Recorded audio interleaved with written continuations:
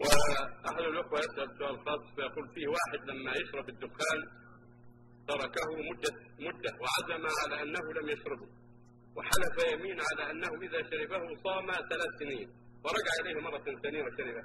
فما حكم صيام الثلاث سنين الذي ألزم نفسه بها؟ عليه أن يتوب إلى الله وعليه كفارة منه. حلف أن يأخذ ثلاث سنين ما عليه كفارة منه. لأن الرسول عاصي من أبد.